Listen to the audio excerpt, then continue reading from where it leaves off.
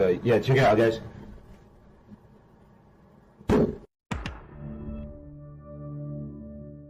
So I think you guys know what this video is about from the title and the thumbnail, but just in case you don't, Twomad is dead. Uh, yeah, there's no easy way to say that. He was found in his house on February 14th, 2024, which is Valentine's Day. No one heard from him for the past five days. So we don't know an accurate time of death when he actually did die. I had just got onto Twitter, uh, you know, on Valentine's Day, and I was not expecting the amount of shit I saw as shocking as it was to just see his death, like the way people were reacting to it online was insane in my opinion, and I just wanted to see why was this the case. Now, what was even more polarizing was the tweet that Jameskii went ahead and put out shortly after the announcement of his death.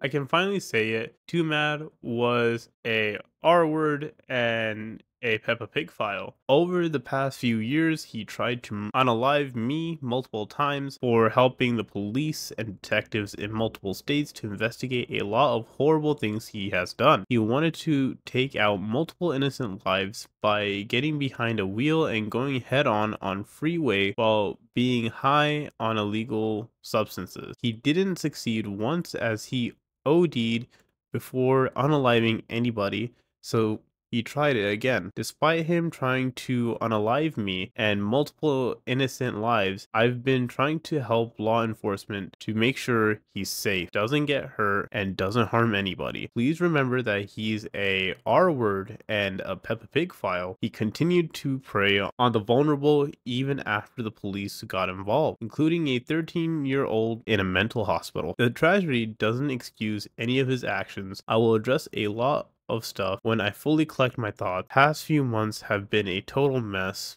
and reason why I ended up in the ER. Please give me time.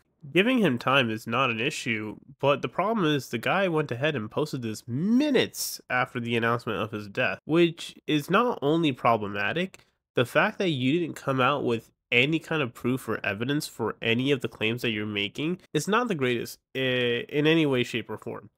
Now, um, with that being said, we also do have to talk about Twomad in his past. And Twomad is not a man that is totally innocent either.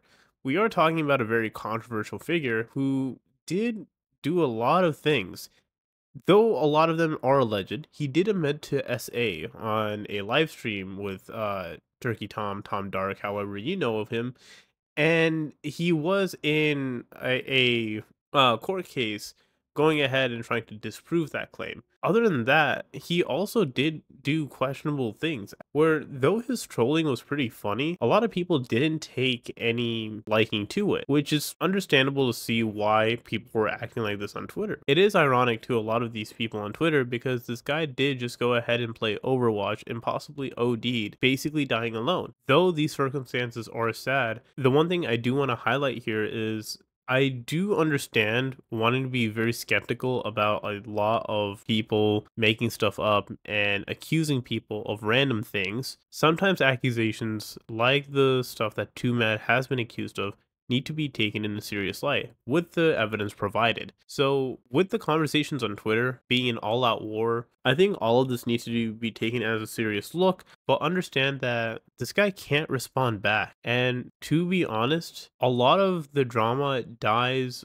with him, quite literally speaking. So, after this, what's the point of even bringing it up in the first place? Now, here's the thing. I I don't like how everyone's talking about Mad's death in this case scenario. Again, I don't think he's a great guy. I think he's a guy that has many flaws. I think um, with what he's admitted to, he is pretty much a scummy guy, but he didn't really deserve this kind of clowning on on Twitter. And I find it really abhorrent. Like, imagine if this was, you know, you or someone else or someone you loved and people just started clowning on them. It just isn't right to say the least. And the people that are mourning his loss you know it it's just rubbing salt into their wound. So it's always nice to go ahead and be a little cautious with the way you react when dealing with someone's death. However, if this guy was going to go out and unalive people, I wouldn't have any sympathy in this regard and to be fair, um, I wouldn't give a shit that he died. That's my take on this entire situation. Uh, if you like what you saw, like, comment, subscribe. Dislike it if you dislike it. And practically, see you later, Twomad.